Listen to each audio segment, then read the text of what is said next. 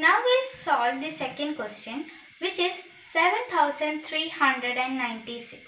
So first we'll uh, split this number 73 and 96. So here the unit digit is 6. So it will be either 4 or 6.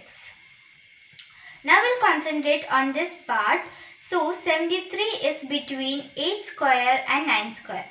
8 square is 64 and 9 square is 81. So 73 is between them.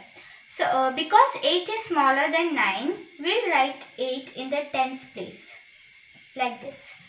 Then we'll multiply 8 and 9 which is 72. So 73 is greater than 72. So we'll take 6 because 6 is greater than 4. So we'll write 6 in the ones place. So the answer is 86 square.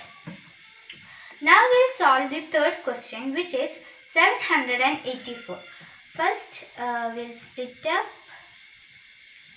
like this.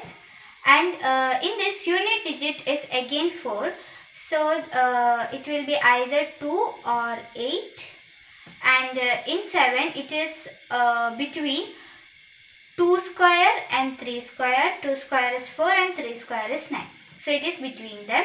Uh, so 2 is smaller than 3 so we will write it in the tens place like this.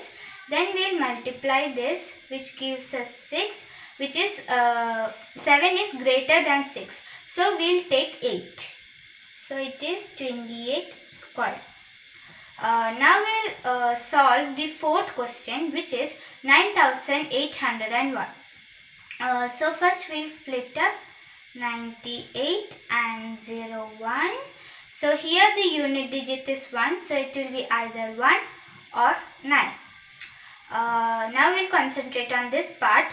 Uh, 98 lies between the uh, num uh, the square which is 9 and 10 square. It lies between the squares of 9 and 10 uh, so 9 is smaller so we'll write it in the tens place multiply this number. The product is 90. So 98 is greater than 90. So we'll take the number 9. So it is 99 square. Now the last question which is 4489. Uh, we'll first uh, split up as usual 44 and 89. So the unit digit is 9. So it will be either 3 or 7 because